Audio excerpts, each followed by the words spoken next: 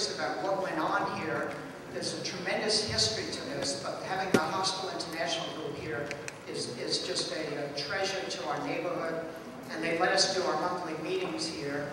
Um, so uh, we really appreciate uh, being here. And just a little bit of musical history. There were these two sisters that um, wrote a song about 100 years ago. One of them lived in the neighborhood on Claremont Avenue and actually uh, taught at Teachers College. And she and her sister wrote what's thought to be the most popular song of all time. And I'd like to use that song. In fact, I'll start singing for us to wish for us, us, us to wish Win Armstrong happy birthday. Happy birthday to Win. Happy birthday birthday, dear Win. Happy birthday to Win, I know I embarrassed you, but thank you so much. So much of this happens because of, uh, of Win. Um, so, let's, uh, let's check a few other things before we get started. I want to check my notes so I don't leave out anything. Um, this Sunday at 2 o'clock, we have our monthly neighborhood walking tour that begins from the southeast corner of 96th Street and Broadway at 2 o'clock. That's Sunday. We do that every month under the auspices of our Bloomingdale Neighborhood History Group and the Columbus Amsterdam Business Improvement District. Um, you might have seen a donation uh, basket in the back. We appreciate any kind of token donation. We're a very, very small institution. Um, we have no overhead.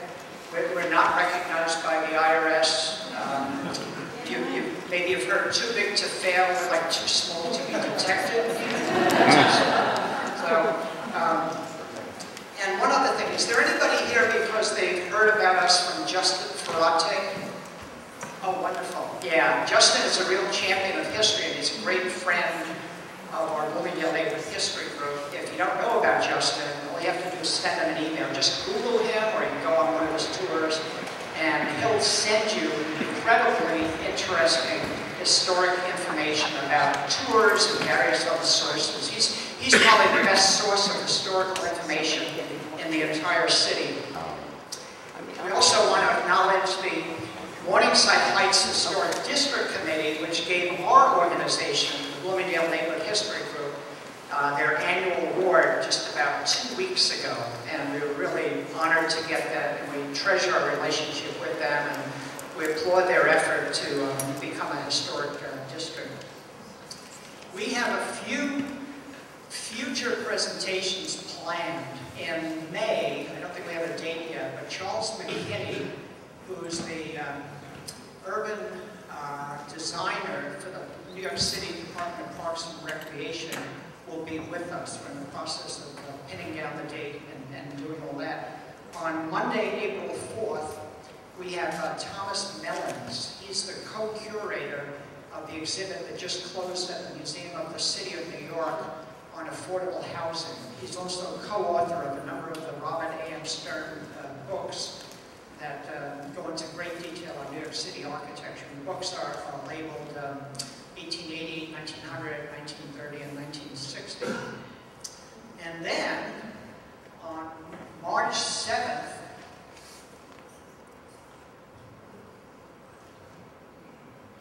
we have Margaret Oppenheimer. And Margaret is with us here tonight. Margaret, can you stand up for a second? There's hey. Margaret over here. Margaret's new book on Madame Eliza Jumel is absolutely spectacular. I couldn't put it down. I have pretty high standards when it comes to history. This was a, an A-plus book. So Margaret will be talking about that, and she'll have copies of her books here as, as well. So, um, let's see.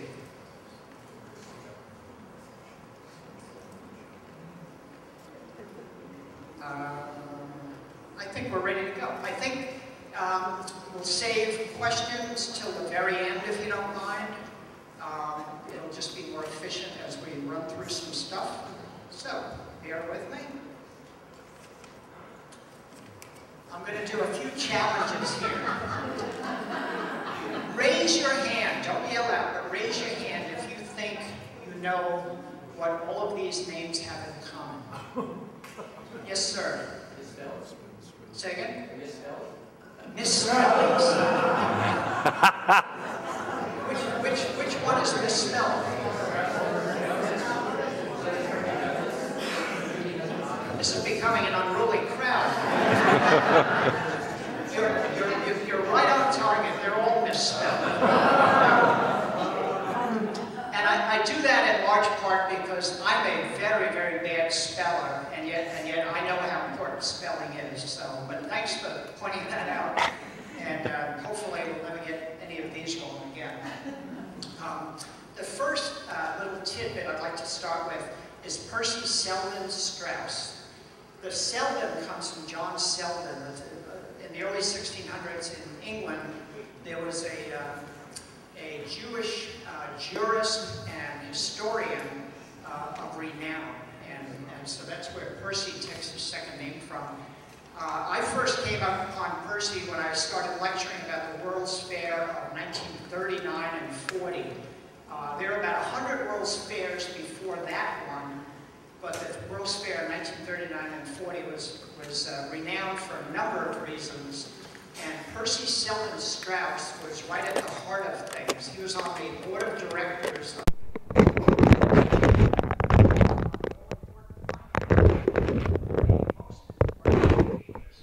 chairman of the architecture committee. And why is that significant? Because the 3940 World's Fair was the first World Fair, World's Fair that looked to the future. Every World's Fair before that celebrated the past. And you can kind of see that with this image of the World's Fair. And just to put that in perspective, some of you may know the and the Trylon, there's two images in front. But if you look down the courtyard there a little bit, there's a statue of someone else who has a birthday today, and that's George Washington. The statue of George Washington there is about 65 feet high. So I can tell you that the Trylon, that pointed thing, is almost 700 feet tall. This is back in 1939, 1940. But not only did it look to the future, they also had uh, a number of art objects and historical objects from the past. The number, the importance of the number of paintings and the caliber of paintings that were brought together for that fair is thought to never have been e equal since then. So many important paintings came together for that World's Fair. And then some things, for the very first time, um, were, were out of the country, came into this country for the first time. I'll show you an example. The Magna Carta, you can see, came into the United States for the first time. And recently we had it at the New York Historical Society. Um, but here's the Magna Carta being shown for the first time out of uh, England. So, does anybody recognize the Magna Carta? No? Who said it was? Wait, didn't I say spelling was important? Magna's, which, word is spelled wrong? Which one? Carter? C-A-R-T-R, what's the problem? Are you sure? My friend Nancy is telling me that it's, that it's wrong. Are you sure?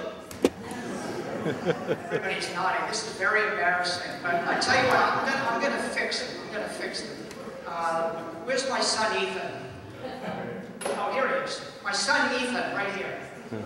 Ethan.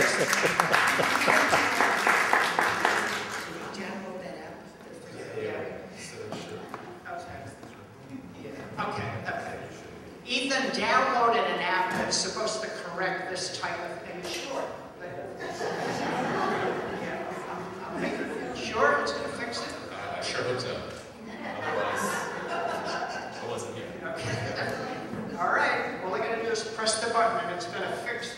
Carter problem. Let's, let's see. All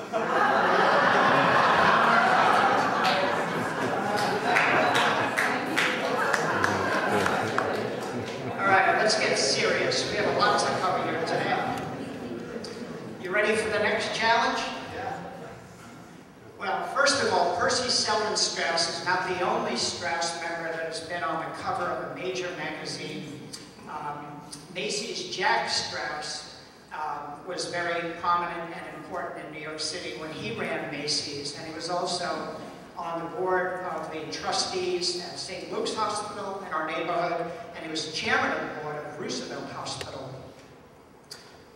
Just to give a little bit of context, I know Joan gave us wonderful detail on, on all of this, but here's the uh, patriarch of the family, Lazarus Straus, and the four children, one of whom was a, a woman, Straus, Ida, whose, whose namesake uh, gives us the park, um, these are their seven children, and you can see the second one didn't survive infancy.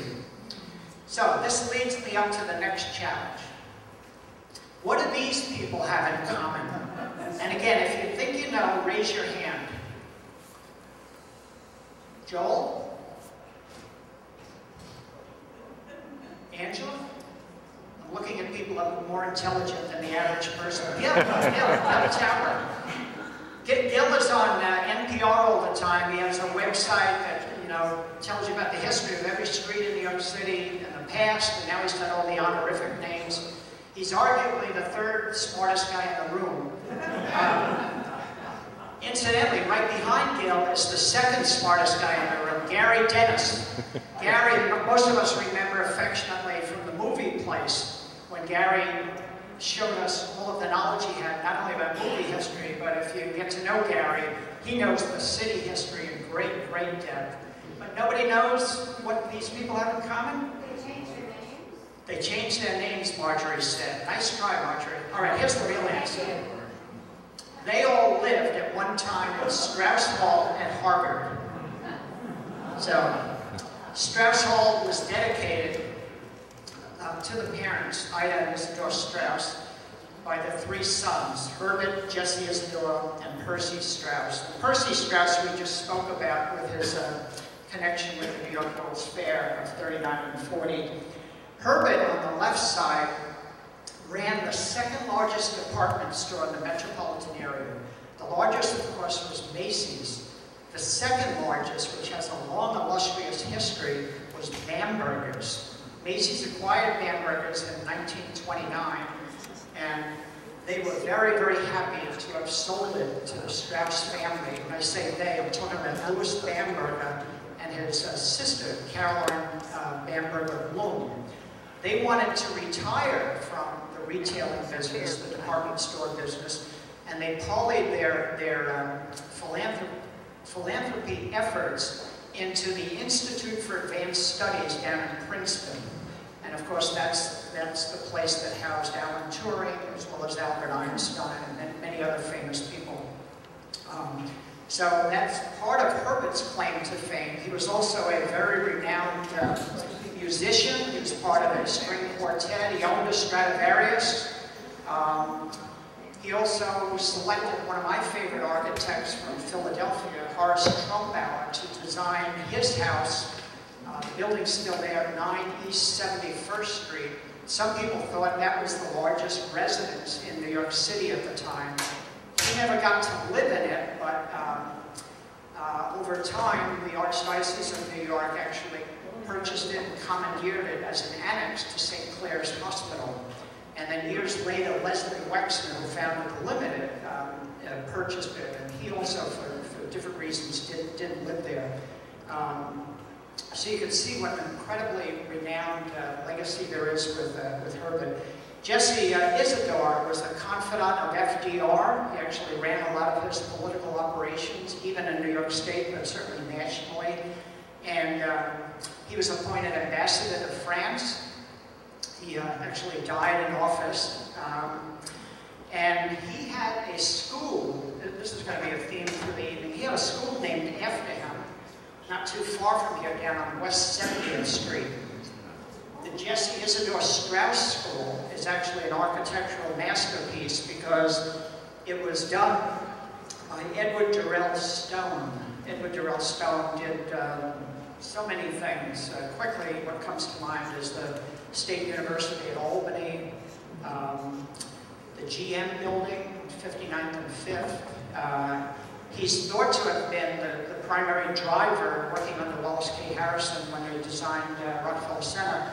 Um, uh, Edward Durell Stone is thought to be the guy that did Radio City Music Hall. So uh, I don't think it's by accident that they've selected a very important architect to acknowledge uh, great Jesse Isidor Straus. Let's try this. Anybody recognize these books? Like um, all the way on the far right, Bonfire of Vanities by Tom Wolfe, or down below, The Fixer by Bernard Malamud, or Shirley Jackson's The Lottery, uh, Cunningham's The Hours. One of these books was written by a person who wound up living in a building that sits on the site of the house of Ida and Isidor Straus. Marjorie, you know? That's right, Madeleine L'Engle, A Wrinkle in Time. She passed away in 2007. But, but why do I show you all these books? Because this just gives you a little bit of a sense as to the number of authors that were not only Pulitzer Prize winners, but also Nobel Prize winners that happened to be part of Farrar, Straus, and Giroux. Roger Straus partnered with a guy named John Farrar back in 1946 and um, they put together an incredible array of, um, of, publishing talent. How about this? I'm, toying a little bit with some rock history here. If you remember the WMCA good guys, you may or may not know that also people like Scott Muni and Murray McKay, Murray McKay Kaufman, actually were part of WMCA. But let's, uh, let's go way back. 1925, this radio station got started. In fact, MCA stands for McAlpin Hotel. This broadcast from the McAlpin Hotel, which some of you may know is still on the southeast corner of 34th and um, Broadway. And um, the Straus family um, purchased an interest in it in 1943. And uh, you might recognize Mick Jagger on the right there. And R. Peter Straus wound up running this for years and years and years. Indeed, it became an incredible radio station. It's thought to be the first one where editorials were read over the air. They actually took positions. They endorsed JFK for president. They advocated for Nixon's impeachment. They supported abortion rights and the right to sell right to have contraceptives on the radio.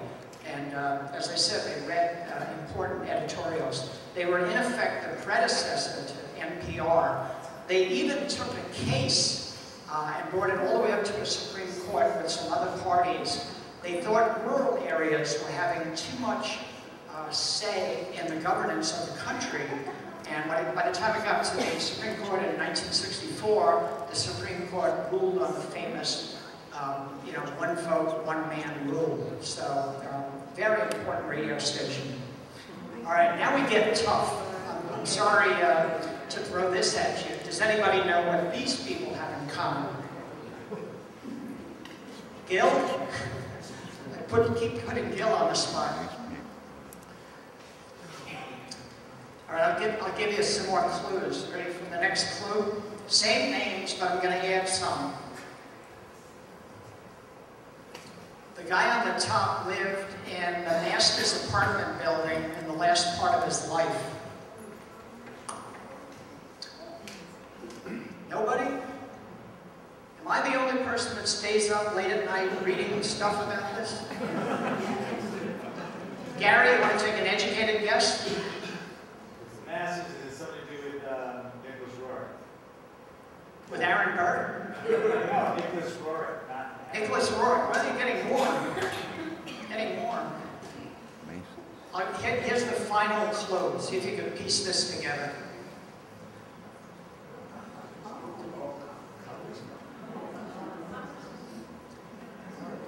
These are our Congress people going back in time.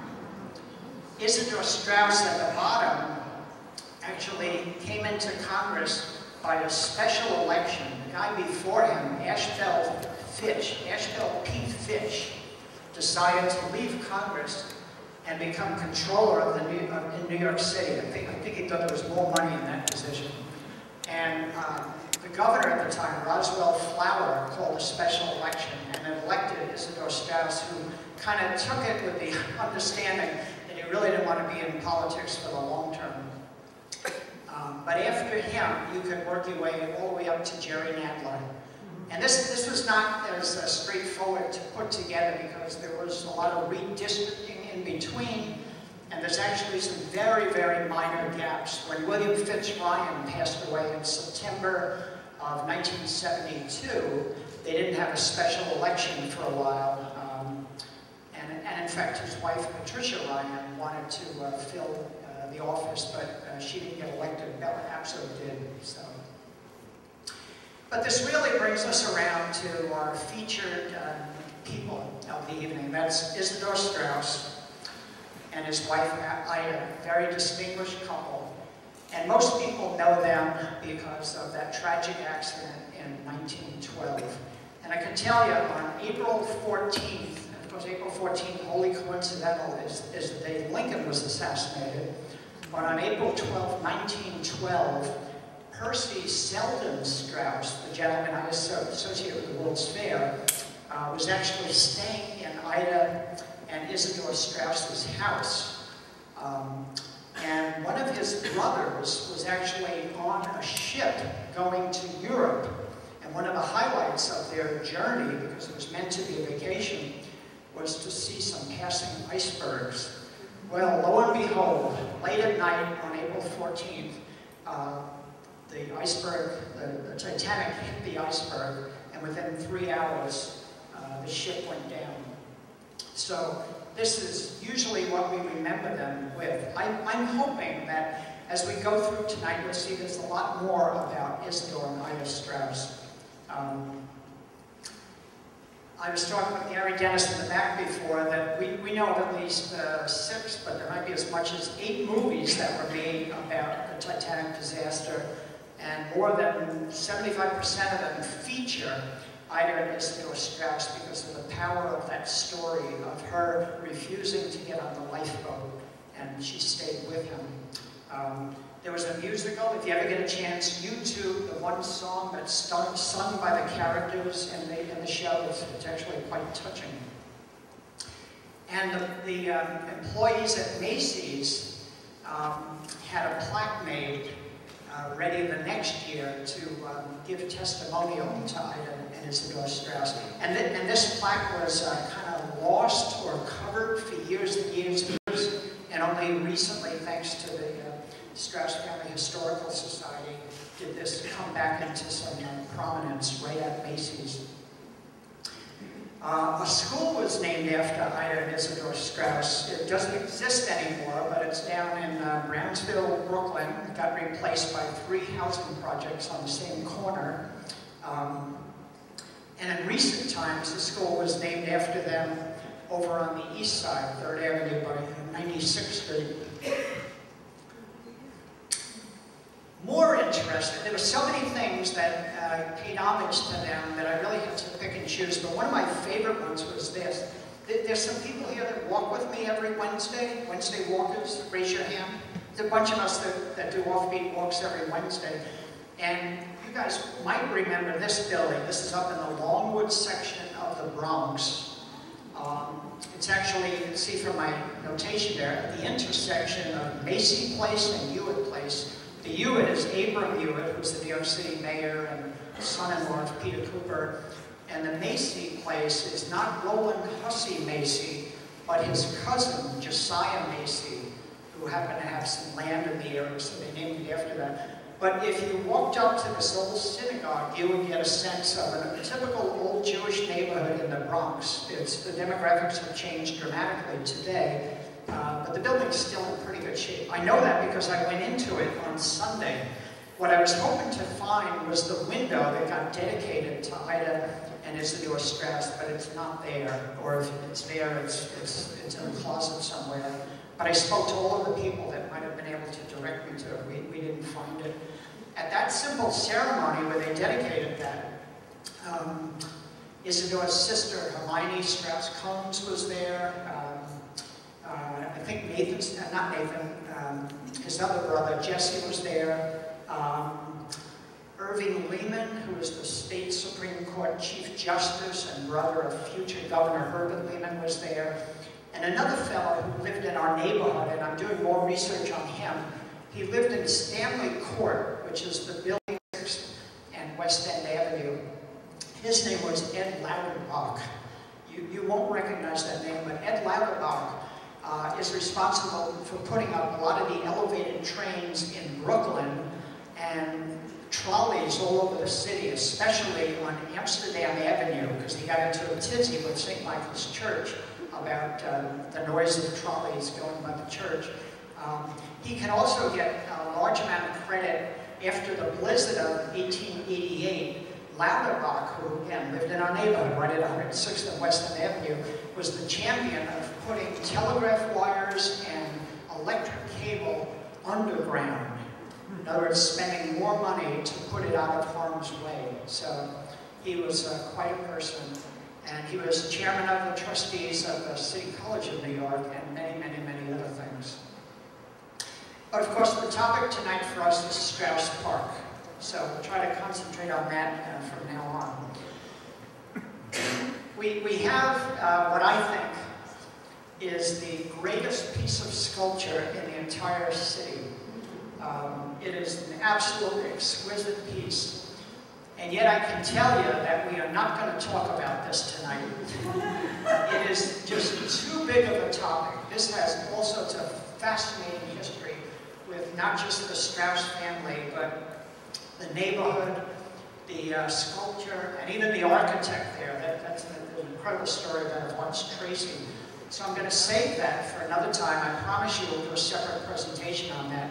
Um, I was talking to someone recently, and she was good enough to uh, send me some new information that I have not seen before about people that model for sculptures like this.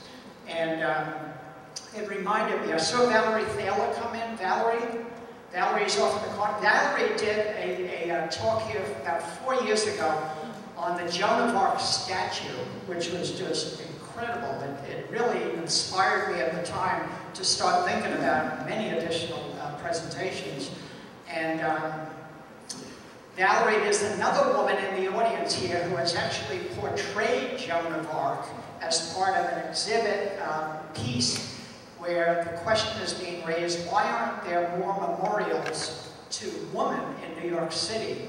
Now, for many years we used to joke that there was only Gertrude Stein and, and Park. Of course, Eleanor Roosevelt only appeared about 15 years ago.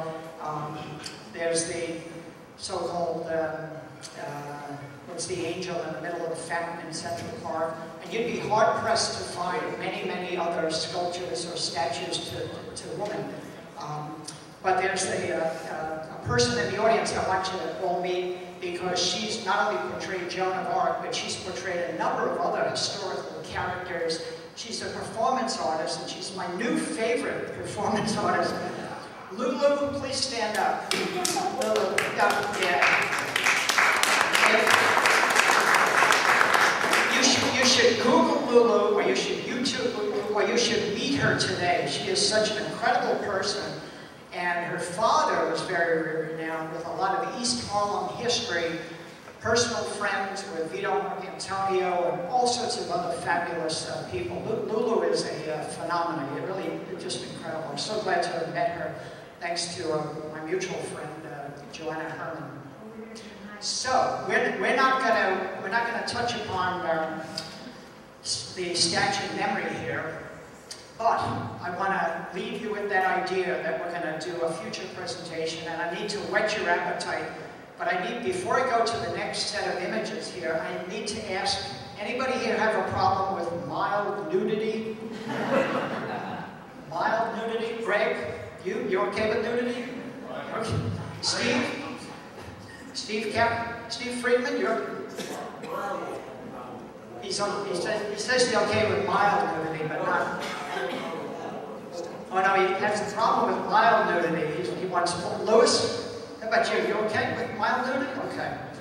I'm joking a little bit, but I'm going to show you the woman who will talk about undoubtedly when we do the sculptures in our area, who's the model, the actual representation for a lot of famous statues, not only in our area, we could spend a whole night on that, but all over the city, and that's the great Audrey Munson. She's thought to be the model for all of these. There's a little bit of question about whether uh, another silent film star might have modeled for um, Daniel Chester French alma mater, but um, uh, if you look at the high cheekbones and a couple other things, it's probably Audrey Munson. Um, incidentally, the Fireman's Memorial on the lower right side, the chairman of the committee that made that happen was Isidor Straus. The very idea for it came from the uh, uh, Bishop Henry Codman Potter, his reaction to a horrible fire down on Canal Street. But Straus is the man who put a committee together. In those days, and even including um, the Statue of Memory, those were all privately funded. In fact, after uh, they dedicated the park, um, the committee that, um, that funded the Statue of Memory gave it over to New York City. To this day, New York City owns it, and the Parks Department are, the uh, custodians of it. So, but we usually associate the Strauses with Abraham and Straus. Uh, so here's some images from the early days. It started out in 1865. A great retailer in Brooklyn, Joseph Wechsler. Um, he um, partnered with uh, Abraham Abraham. In, in, fact, Percy Selden Straus married Abraham Abraham's daughter, Edith Abraham. Uh, and then, of course, all that gets parlayed into Macy's. They actually operate in Macy's as a department, and they do it so well that they're able to, in effect, do a leverage purchase over a period of time. Um, I show you this in, in part because we're going to go backwards in time. Um, but a couple of, I'll digress for a second. There's a plaque on the side of Macy's that speaks to Thomas Edison and the showing of what's thought to be the first um, moving image uh, for public use in the city. Uh, you can see that on the north side of 34th Street there. So there's an Edison piece of history there. And then up in that tall building in the background, that's the New York Hotel. That's where Nicholas Tesla died. Uh, Nicholas Tesla. Tesla. Tesla. Um, and we may be looking at his room because it was up on the 33rd floor. And then further down, just past the uh, New York Hotel, we can't see it, but was Hammerstein's. You might go there today for a rock concert, if anybody goes to rock concerts. And the great Oscar Hammerstein, the great impresario, who was the grandfather of Oscar Hammerstein and Rodgers Hammerstein, he lived at 949 West End Avenue for a while. And one of my great speculations of all time, and that's all it is, is a, is a speculation. We're going to have to research this, Gary. The Olympia Theater that got taken down in 2003, the name Olympia is the same name as one of Oscar Hammerstein the first, one of his great theaters on Broadway, about 45th Street or so. So did they name that in homage to Oscar Hammerstein? Who knows? That's what we have to research. But I show you Macy's here also because um, Macy's is, in my estimation, the largest store in the world.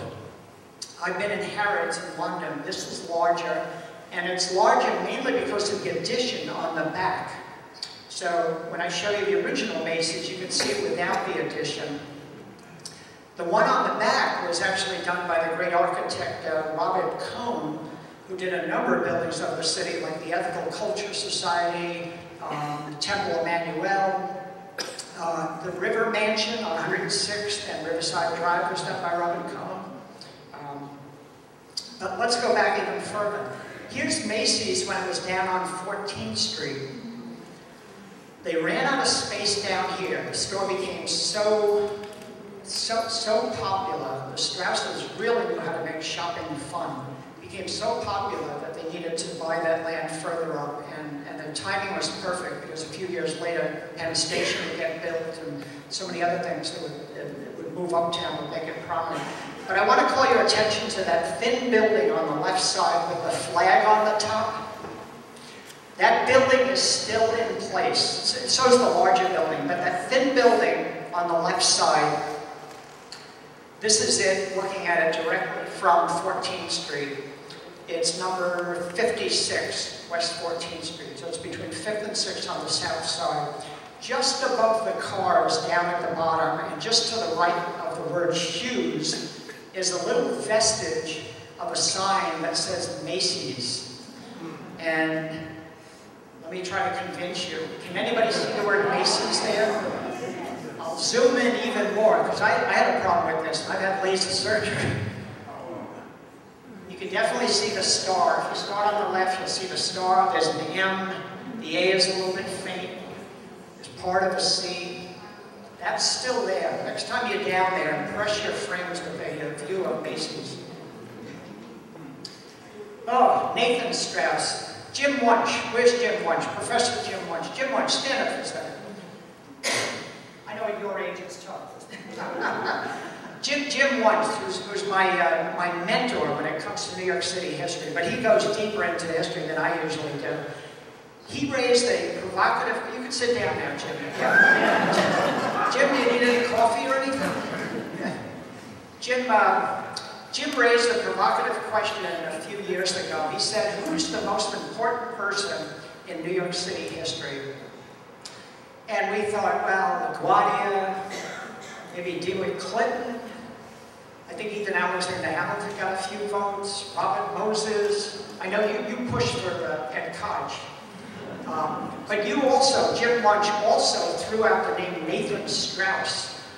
So I said, oh yeah, sure, Nathan Straus. I went home and I did some reading, and boy, I found out everything about Nathan Straus that makes him important. Most famously, and I show an image here, and the, maybe the heart of Jim's argument at the time was, by introducing pasteurization, and I see Caitlin Hawk just walked in.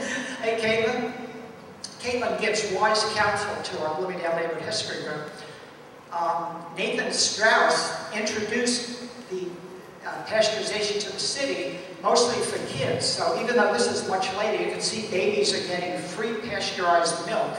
This just happens to be a Columbus Circle. but They were all over the city, and that's what uh, Nathan Straus did. He's also intricately involved, I just don't have enough time to talk about it, with establishing and creating the first parks in the city.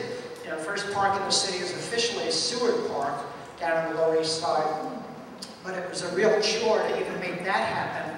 And Nathan Straus, along with people like Lillian Wald and Jacob Schiff, they, they really made it happen. And it's just incredible.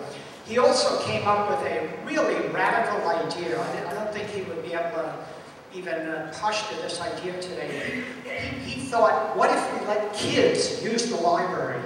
And that's why some of you may remember, if you've ever gone into the old Donnell Library, which is getting refurbished or rebuilt as part of a, a new building, there was a Nathan Straus picture there, and there was a Nathan Straus room, because he really championed uh, children's use of, uh, of libraries. He could have been mayor if he wanted to be. Tammany Hall at the time really wanted someone not only of his stature, but his integrity. And uh, for reasons we'll never know, he was, he was, he was a brash person, so maybe he realized that um, he would uh, drive the city crazy, but he decided not to run for. He undoubtedly would have become uh, the first Jewish mayor in the city. His brother, Oscar Solomon Straus, was even more renowned. He was the first Jewish cabinet secretary. He was Secretary of Commerce and Labor under Teddy Roosevelt. And um, my wife and I were just down there two weeks ago. We went to the memorial. The memorial is only a few hundred feet from the White House. Uh, they had to move it when they built the new Ronald Reagan building, but they put it in storage because they knew that they were going to rebuild it. It's, it's such a, a, um, a, treasure piece, and, and Oscar Straus is so important. When Teddy Roosevelt ran on the Bull, on the Progressive Party, we call it the Bull Moose Party, but officially it was the Progressive Party, um, against Taft and against Wilson, he in effect got Wilson elected by splitting the Republican vote. When Teddy Roosevelt ran on the Progressive ticket, Oscar Straus ran on the Progressive ticket for governor the same year, but he didn't get elected. Very, very important, uh, another Straus. Um, so now I want to take you uptown, because I want to show you where the Strauses lived before they moved down to 105th Street.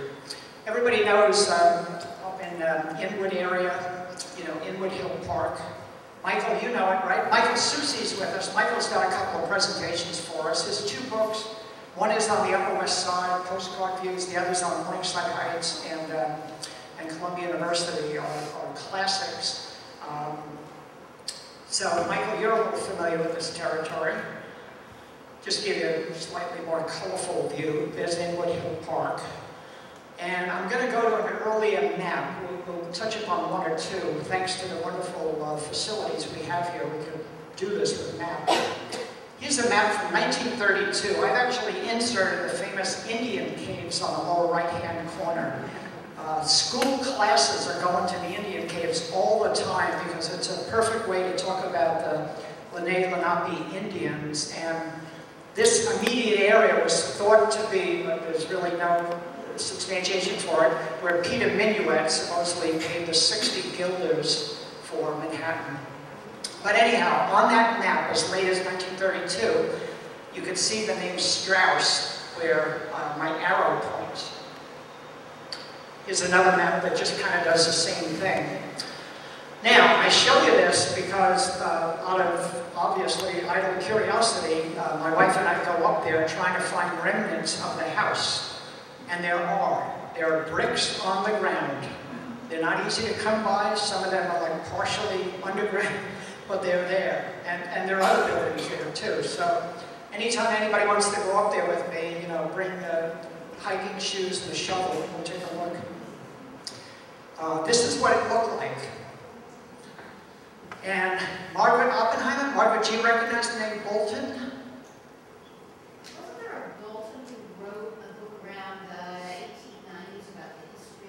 Oh, you're good, Margaret. Margaret says, wasn't there a book written by a guy named Bolton in the 1890s? Absolutely. The Definitive History of Washington Heights by Reginald Pelham Bolton. He comes from this family which settled up there. And he also, if, if you go to the Dyckman House, behind the Dyckman House, there's a number of these long huts. That was one of Bolton's favorite things. He actually recreated Lenni Lenape huts to prove or to, or to calculate the population of the Lenni Lenape that lived on the island of Manhattan. So if you haven't had that experience, you should go up there. And Bolton with another guy whose name escapes me for the moment, uh, those are the guys that led the field expedition in northern Manhattan to find Revolutionary War remnants. They, they kind of uh, going to be too pejorative now, but they panicked with so many apartment buildings going up that they organized serious field trips, go up there, dig up stuff before they would be lost forever. And they're on display in both the New York Historical Society and the American Museum of Natural History. But that's the name Bolton. But Gary, I keep pointing back to you. Do you, do you, do you recognize the name Guy Bolton? Yeah. Guy Bolton is the son of Reginald Pelham Bolton, which is what Margaret brought up. Guy Bolton wrote the book for a number of uh, Jerome Kern musicals, as well as uh, Gershwin's Girl Crazy. Uh, he even rewrote the book for Oscar Straus's Chocolate Soldier. Oscar Straus is the operetta composer, and he's a second cousin once removed from the Oscar Straus that we featured here. And I also want to feature Oscar Straus III is in the last row here, joining us, as are a number of people. His hand just went up. He's a fabulous guy. Yeah. So isn't it incredible that we have um, Straus members uh, with us tonight, people from Straus uh, Family Historical Society. So that's the Bolton story. I apologize for digressing. Here's a view from above, which shows, uh, you can see they misspelled Isidore supposed to be spelled with uh, I. And I've also got an arrow pointed to another name, Jefferson Levy. Anybody recognize that name? I apologize for all this obscurity. Jefferson Levy? Jefferson Monroe Levy? Yes, Gil, Gil got it. Monticello he connects him with. His uncle, Uriah Levy, purchased Monticello in the 1830s, saved it, restored it, preserved it, and then it passed on to other parties.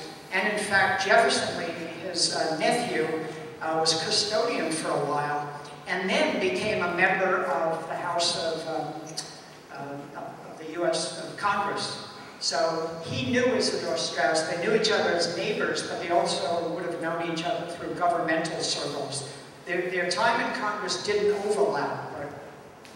And Jefferson Levy, I see a picture of him, and there's Monticello, and of course it's on the back of the nickel. So another digression, I apologize.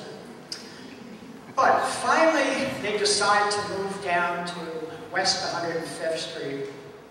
The story goes that it was just too far uptown for Isidor Straus to conduct his family business.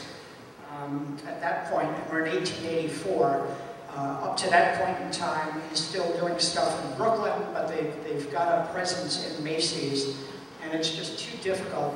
There, there's a slightly more melodramatic story that uh, young Jesse had to rush off on a horse after his brother got butted by a, by a goat as a little kid and was unconscious for a short while. So maybe that also prompted them to leave Inwood and come down to 105th Street and Broadway. We have precious few pictures of the house on Broadway or 105th Street, but here's one of them. Um, give you a little bit of map perspective here from uh, 1885. And when they, when they moved into the house, I think in July of 84, 1884, they're in the same year the Dakota got built, which is a simplistic start of development for Upper West Side real estate. And the same year this building got built, the building we're in here. This is, uh, we were talking a little bit uh, before, Toby, remember? This is the Association for Aged and Indigent for respectable aged and indigent females. And this building, which is a landmark building by Richard Morris Hunt, was built in 1884, same year that the Strauses moved to, to this location. So you can see there's two buildings on the property. There's the main house, um, and then there's kind of the barn in, in, the back where they probably kept um, um, a horse or two and a carriage because um, Isidor Straus would travel downtown by getting on the 9th Avenue L, and he would get off at 81st Street. The story was that from 81st Street, he could see the cupola of his house, but the chauffeur, would come by horse and, and carriage, would have come and picked him up at the 81st Street and 9th Avenue uh, station. Let's, uh, let's try to get a, a, different time perspective on this. Um, here I am just kind of backing out a little bit so you can see what's, what's around it, including the building we're in.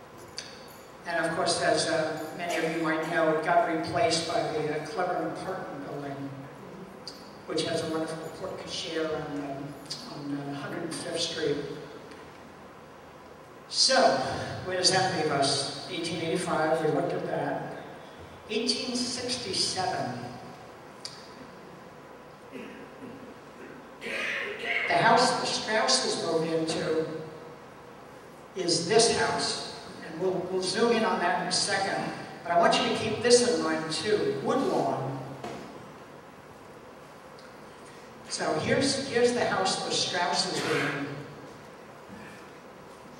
It says M.T. Brennan. M.T. Brennan stands for Matthew Brennan.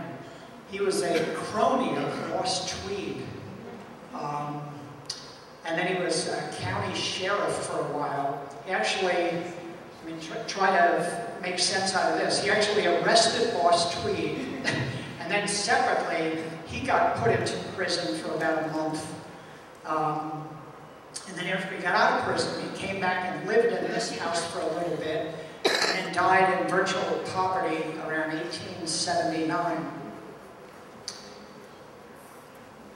Is a picture of him. Here's a famous um, cartoon by the great Thomas Nast, who is usually more known for creating the uh, donkey and the elephant images for the Democrat and Republican parties, as well as the, the modern conception, the cartoon conception of Santa Claus.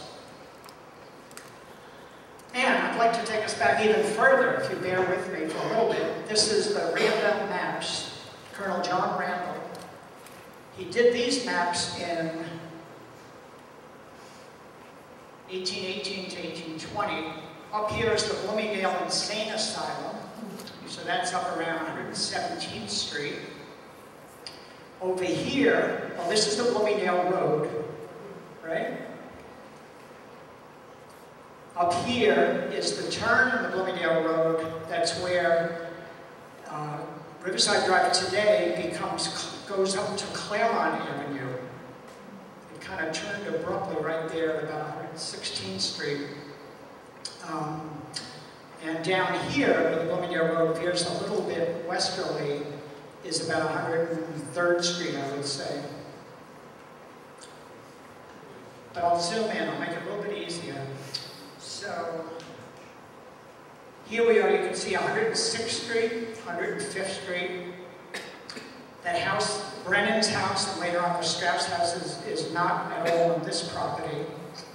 Um, this building here that I pointed out before, um, Woodlawn, that's the house of uh, William and Sarah Haywood. They, they, weren't prominent or anything, but um, Anthony Tromp's mother, Mrs. Tromp, stayed there actually and, and wrote some very favorable things about it and about staying on the Upper West Side back in the 1830s and, and 40s. But I wanted to call your attention to what would become Straus Park, which is right here. So let's zoom in on that. Oh, wait. This is at the corner of 106th Street, named West End Avenue over time. The MON stands for Monument. And what had happened when Colonel John Randel actually uh, scoped out the city, surveyed the city to create the grid work that we know today, and all of this has been recounted at the Museum of the City of New York, and we have the curator actually present here on, on much of this. But when Randel did that, at the southwest corner of every future block, he put either a monument, and there were 1,549 of them, or if there was, if the ground wasn't soft enough to put a monument in, he put in an iron bolt, and there were 98 iron bolts through Manhattan. And this is what they look like. That's the monument to the right. It's about three feet, nine inches tall. Only the top part will be above ground. And there's a Randel bolt on the left side. You can see a Randel bolt if you walk into Central Park, and you can see they used a bolt because um, it, it's in a rock outcropping. But if you walk into Central Park at 65th Street and about 6th Avenue, try to imagine where they intersect, and you'll see that bolt. That's the only publicly known bolt, Randel bolt. Now, so quickly back to Straus Park. Notice um, there's a building here, the Trouville, that says facing Schuyler Square. Give you another image of that. That's that, um, on the left side, that's the bar that's still there today. I forget the name of it, Tower Hill, I believe.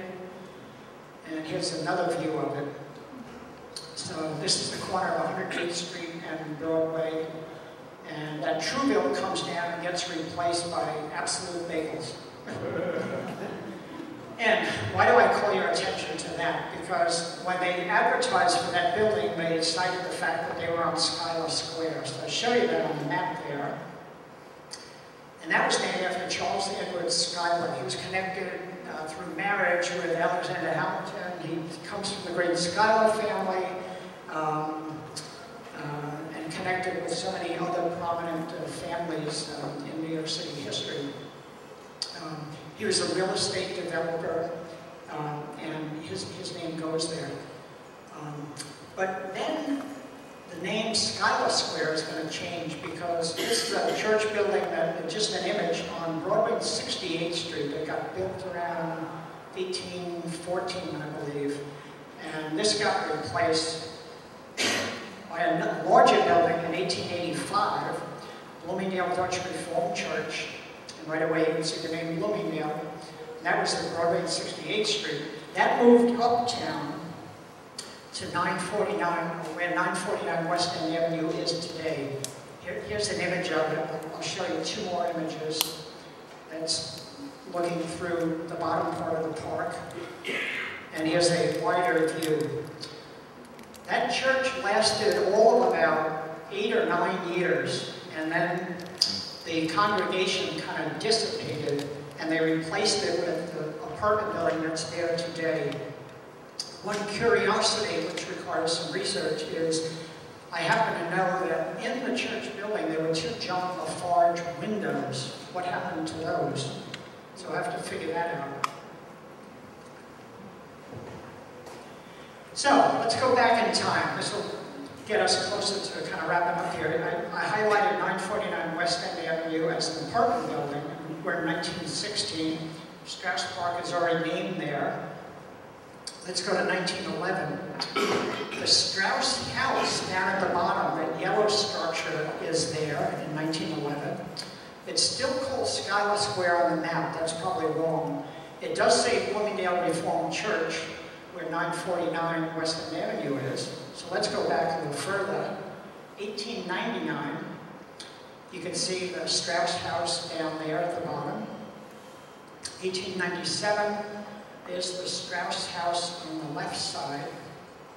1891, we see the Straus House with the barn, so we can kind of impute that the barn came down in the next few years.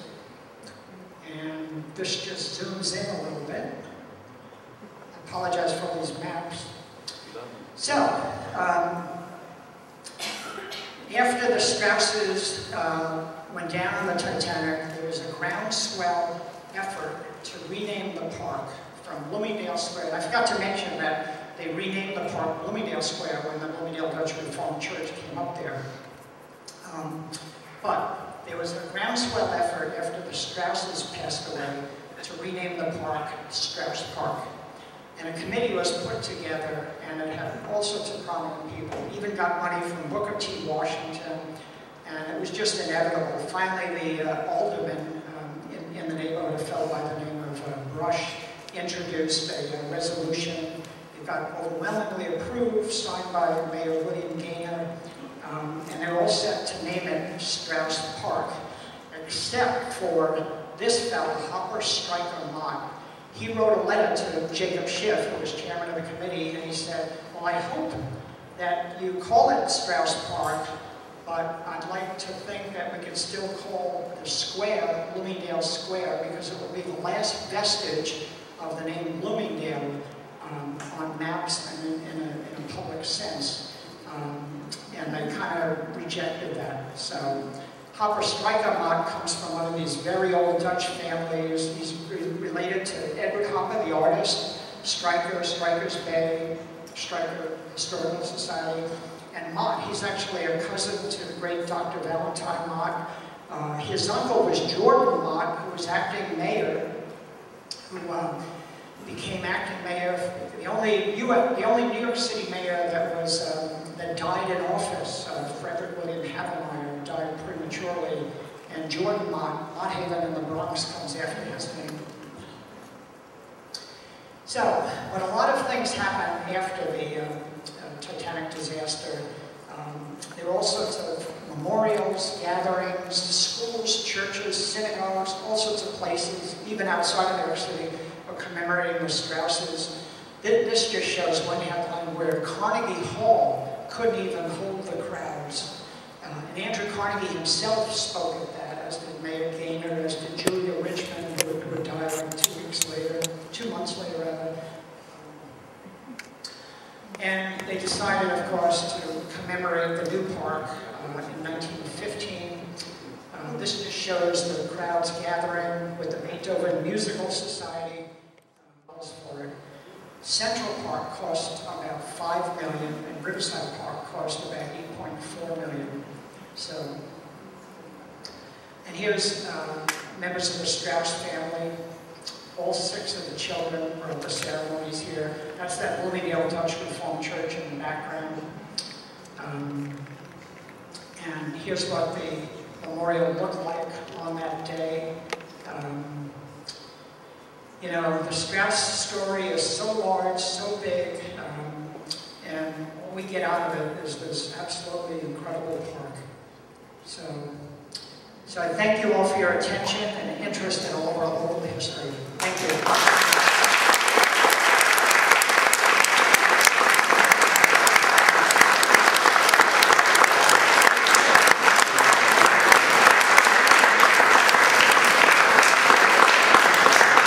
And Maybe some questions? I'll, I'll stick around for a while, but any, any questions quickly? Yeah. Well, not really a question, but just an update. The Macy's tile down Fourteenth Street has been taken over. Oh, boy. You were saying the Macy's uh, plaque has been painted over. The star, it was hard to read anyway. Oh, you mean the one on 14th Street? Oh, yeah. Yeah, not too bad. Karen? Um, The barn on the property, was it, there's a reference to an old barn, it was something I read in Straus Family History. Um, Straus. And um, they talk about this barn, and it was going by, is it, is it possible that that barn, that old barn, in 1885, I think it was, when did they buy the house? Whenever they bought the house, it was already an old barn. Could that possibly be the house where Thomas Knowlton uh, died? Could it win? could have been the barn that Thomas Knowlton got into a fight with some, uh, I think they were they were Hessians, and I think they were British soldiers, during the Revolution.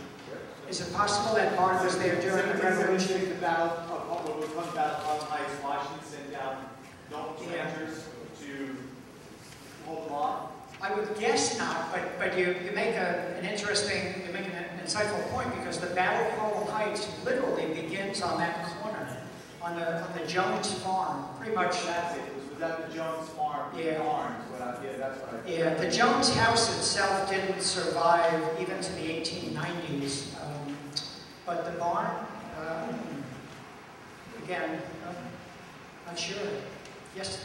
Um, uh, I know it was fairly recent by comparison. What was the year that this, uh, this fully renovation She's asking, what was the year when the renovation was done? Maybe somebody could help you on this. It was like 10 to 15 years ago. Joan? 97. 97? Yeah, fabulous. Yeah, and, and whatever they did, you know, Leon Auerbach and John Olin, Olin, and people since then, I mean, they turned that park into the absolute one of the best parks in the whole city for, for what it is. Steve? Yeah. So generally, the statue does not represent Ida, it's, uh, it's statue in memory and that. that- Yeah, Steve's asking, that does the statue, doesn't represent Ida, it's, it's called memory for a reason. It's very allegorical, it actually is specifically the muse of, um, of memory. I Can't pronounce the name, but it's a a figure in, the- in, in Greek mythology. Um, and it's meant to just be reclining, reposing. You know, when we talk about that in a future presentation, we'll even bring in the significance of what's around it, including the water. At, when, at the dedication ceremony, they had 100 kids from the Educational Alliance downtown. Israel Straus was the, one of the co-founders of the Educational Alliance and was the chairman of it right up until his death. So uh, when they had a, an event down there to memorialize him, it was out of control. Expected maybe a few thousand people. 25,000 people showed up. They had to reschedule the thing. Um, And so at, at this dedication ceremony, they had a bunch of kids from the Educational Alliance come, and they marched up this way, Th- th- those fences weren't there, and they put a wreath on the memorial, and then they dropped flowers in the pool in front of it. And um, you kind of get a sense of how the pool was a little bit different uh, back then. But, and, and the Educational Alliance would be a whole story unto itself. That, that's where Arthur Murray learned how to dance. That's, that's where um, Ben Shahn, Louise Nevelson, Rothko all painted. Um, I mean, so many things happened. Uh, Eddie Cantor had his first stage appearance at the Educational Alliance. Uh, Robert Sarnoff, who founded RCA and NBC and all that stuff, learned English at the Educational Alliance. It's part of a much wider story. And, and, and, and my friend Lulu and I were talking about this a little bit. It also ties in with a lot of the early uh, settlement house history. So, uh, any other questions quickly? Yep.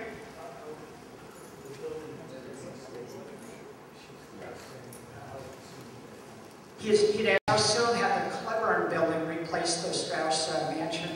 Um, Straus mansion, it's, it's interesting, right after the Titanic was, uh, disaster, they recovered the body of Isidor Straus. They didn't recover Ida's body. And Isidor's body came into the city by train and a couple other things down from, I think, Newfoundland.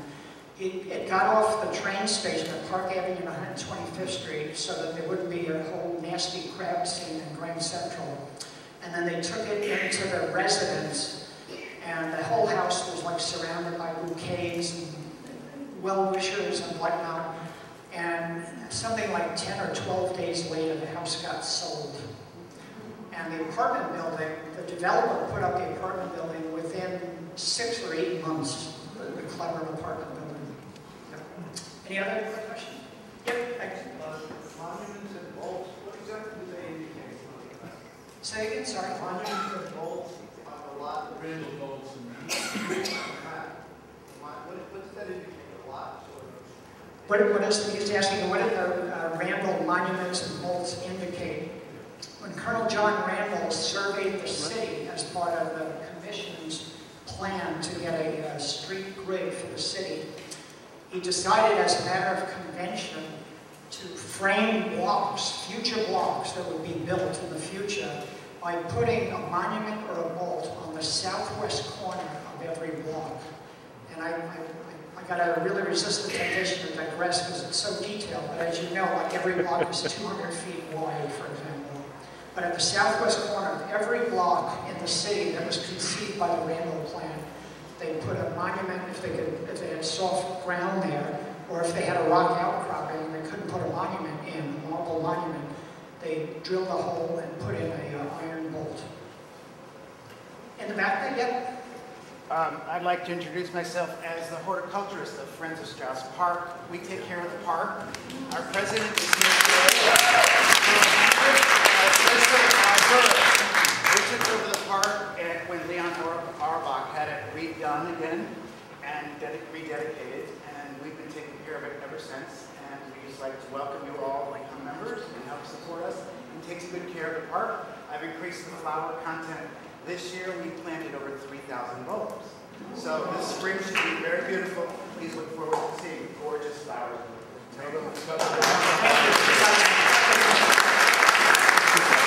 Well, well, we have some papers over here if you want to become a, a member of the Friends of Straus Park.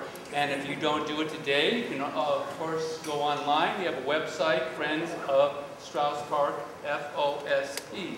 And we encourage you to be a member, and we even love volunteers and people who might want to help in that. So thank you for your attention to that, and this is a fantastic uh, presentation. Thank you.